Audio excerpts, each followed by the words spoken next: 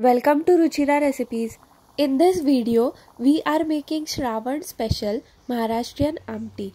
Usually, the Amti is made with tur dal, but I am making this Amti using whole masoor dal with no onion, no garlic and no tomato. Note down the ingredients for making this recipe. Let's start preparing this Amti. Take 1 cup whole masoor dal, soak it in water for 10-15 minutes there are two types of masoor dal. One is split masoor dal, which is reddish in color, and the other one is whole masoor dal, which is brown in color as the brownish skin is retained on the dal. Now pressure cook it until 3 to 4 whistles. If you are using instant pot, pressure cook it on high pressure for 5 minutes.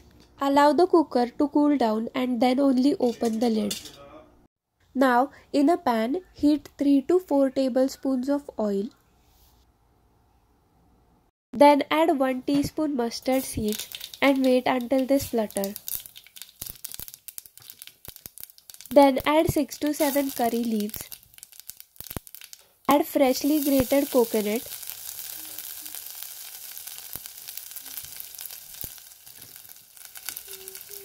Add half teaspoon turmeric powder half teaspoon hing that is asafoetida. Now add the cooked akkha masoor dal that is whole masoor dal. Compared to the red split masoor dal, whole masoor dal has more proteins and fiber. Add water to adjust the consistency. Then add 2 tablespoon goda masala. If you don't have the goda masala, you can use garam masala. Then add small ball of tamarind and 1 tablespoon jaggery. In this video, I haven't used tomato because I have added tamarind to give the tangy flavor. If you haven't subscribed, please subscribe and turn on the bell icon for notifications.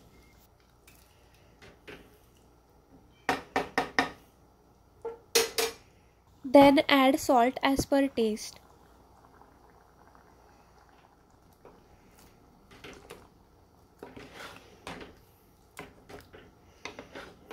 Add handful of chopped coriander leaves.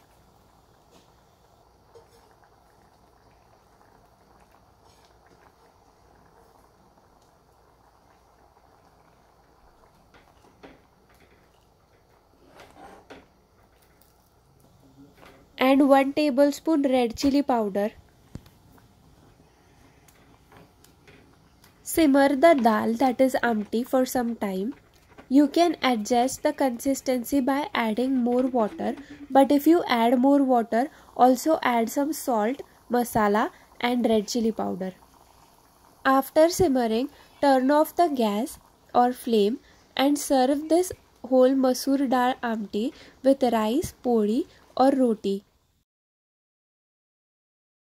Thank you for watching.